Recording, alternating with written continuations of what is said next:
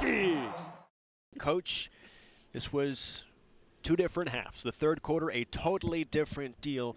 As you step back and evaluate, where what are you feeling? What are you taking away? Well, you know, Andrew, that, that was all a precursor to. Uh, I got a book coming out, and it's all about my halftime speeches.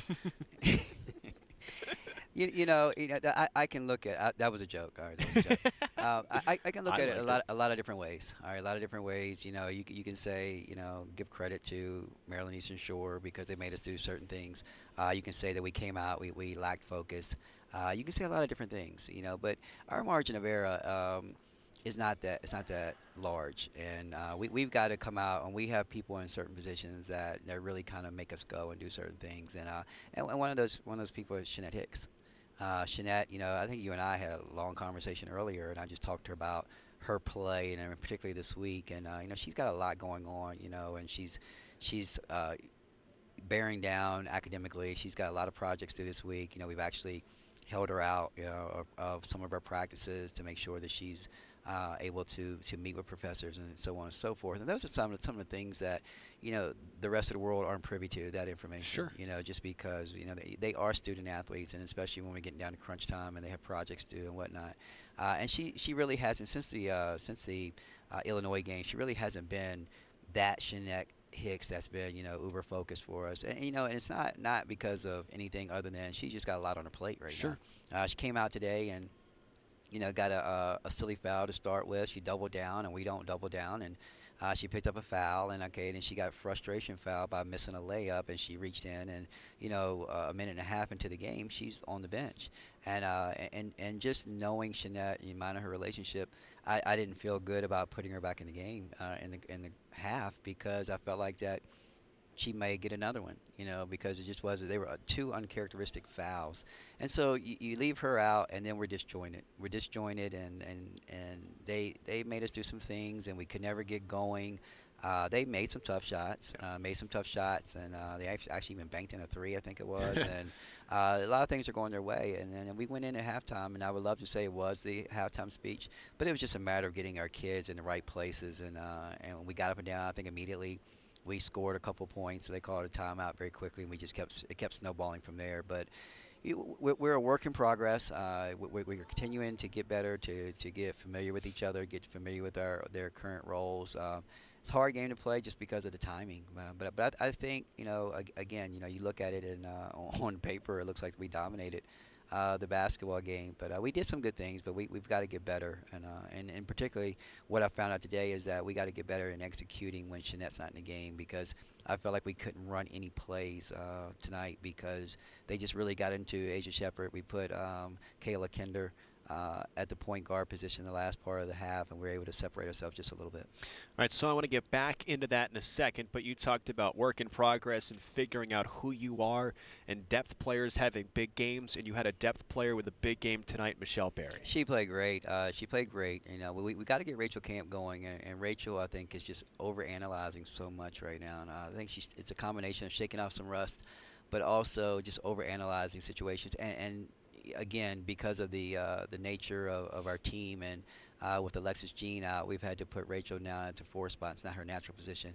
Uh, but I thought Michelle, you know, I think this is probably the third game in a row, uh, maybe even more, that Michelle has played a lot more comfortable, uh, rebounding the basketball, uh, going in, and uh, she's hit a couple threes. Some of, I think one of them was an ill-advised shot, but she knocked it down.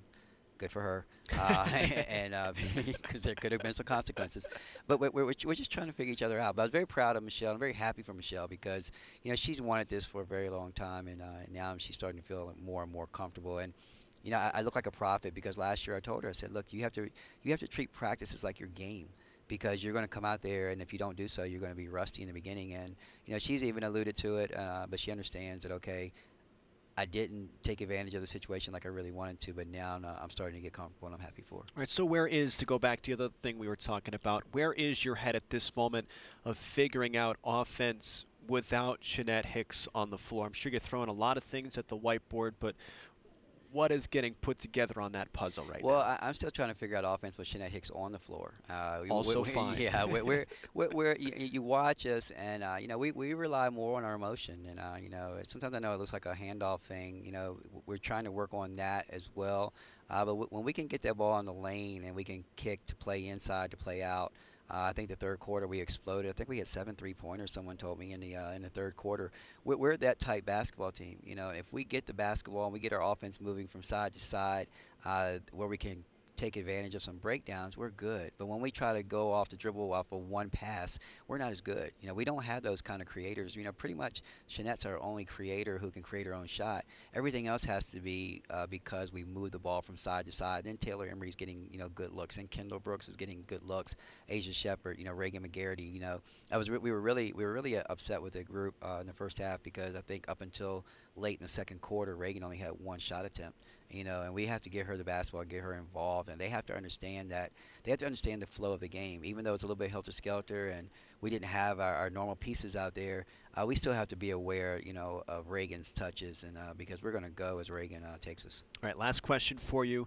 Tricky swing coming up. Chattanooga's a yeah. good team. Monmouth on the road, both on the road in Tennessee, in New Jersey, Sunday, Tuesday. Quick turnaround. What's your focus for this group? Well, it's a necessary evil. Uh, you know, you, you, want you want to beef up your schedule a little bit, and uh, you know, I, I, don't know how much you know the selection committee or anybody looks at the RPI, but you know, you get a big RPI boost when you can go on the road and get a win against a quality team, and that's what Chattanooga is. You know, they, they started off a little bit slow. They lost to. Uh, UCF by one. Then they went on a string where they beat four BCS programs in a row. I think it was Georgetown, Northwestern. Uh, I think Auburn was Auburn, in the mix. Auburn was one. Indiana was the other. And uh, so they, they've had a good stretch, and, they, and they're playing extremely well. And they play extremely well at home. Uh, very well coached. Uh, they know what they want to do. Uh, it's going to be a tremendous test for us, and we're going to have to come out and uh, and be really focused right from the beginning. So that's going to be a, that's going to be a, a, very challenging game, uh, but it also gives us an opportunity. We're going to leave on Saturday. I think we come back on Tuesday night, uh, but it gives us an opportunity to to bond. You know, to bond, and you know, we, we love Blacksburg, and you love playing in front of your home fans. And, and, speaking of our home fans, kudos to the to the people who stayed who stayed around. I know it's very unorthodox. Uh, I'm not a fan of it. Uh, the double headers, uh, especially when we have to play at 8:30, yeah, puts a lot of puts a lot of pressure on our fan base. But uh, for the ones who stayed, I really appreciate it because in a situation like this, Andrew, um, I, I am I am all about my girls. I'm all about my girls. I know how hard they work, and they deserve to be able to come out and uh, and their fans play in front of their home fans. And uh, as we build this thing, you know, the, the fans are what's going to help make this program. And you know, I know it's playing at 8:30. It's not ideal playing a doubleheader, and those are kind of things that you know as, as I work through and get because I, I think my tenure in 14 years uh, as being a head coach I think uh, I only only did it um, I think maybe three or four times you know and, and uh, it puts a lot of pressure on our, on our fan base. But I thought they did a really good job of staying around and you know even though it was ugly in the first half they even stuck, stuck around to the second half uh, of the game. So I really appreciate that. Kudos to them.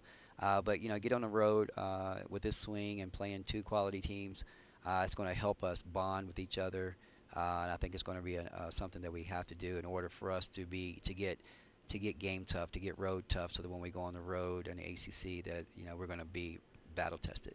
Coach, appreciate your time. Thank you very much, Andrew. That's 28 wins in a year and a half for you, by the way. So you talk about building it. Pretty good numbers right there as well. We're, we're, we're on the way. We're on the way. We've got a lot of, a lot of exciting things going on, uh, you know, uh, right now. And so much so much excitement. It makes a makes a coach want to do a happy dance in his office. So, and so it's really good. Knock yourself out when you get back there. yeah. Final score 90 to 52. Virginia Tech gets the win over Maryland Eastern Shore.